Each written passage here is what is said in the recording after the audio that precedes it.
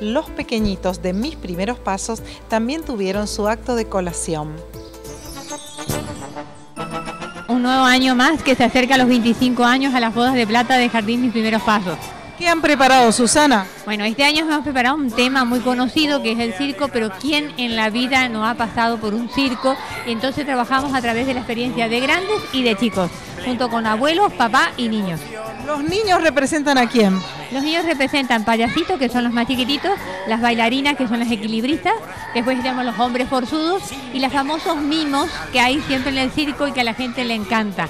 Y para cerrar tenemos un número sorpresa donde actúan papás, que son los feroces animales. ¿Qué saldo va dejando este 2014? Este saldo 2014 ha dejado, como siempre en la vida, algo muy positivo durante tantos años en la fortaleza de la gente que cree en nosotros. Apreciamos cuando inauguramos hace un año la salita de un año, el 10 de octubre, que la tenemos con gran, gran cantidad de niñitos ya para el año 2015, 1 y 2, que son las salitas de maternal. Vamos a aclarar que eso es maternal. Nuestro jardín de infantes se llama jardín de infantes porque tiene nivel inicial, sala de 3, sala de 4 y sala de 5, incorporado a enseñanza oficial.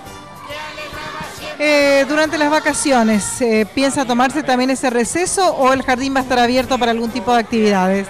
No, el jardín cierra a partir hasta el 20 de diciembre. A partir del 20 de diciembre tomamos vacaciones y el 2 de, o sea, el lunes 2 de febrero arrancamos con Colonia porque los papis vuelven a trabajar, así que arrancamos con Colonia y en marzo ya estaremos con las clases.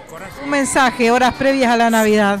Bueno, yo creo que esta Navidad es más que especial para los que tienen personas ausentes, los que tenemos presente, dado que yo he pasado recién por una circunstancia muy especial, una pérdida muy grande, pero yo deseo de todo corazón para mis padres, para mis amigos y para los que hoy están acá haciendo este programa, la muy feliz Navidad y sobre todo en este año nuevo mucha paz paz interior en la gente, paz interior en los hombres, paz en las calles de Corrientes, paz en mi Argentina y paz en el mundo entero. Somos felices al conseguir a un hacer reír.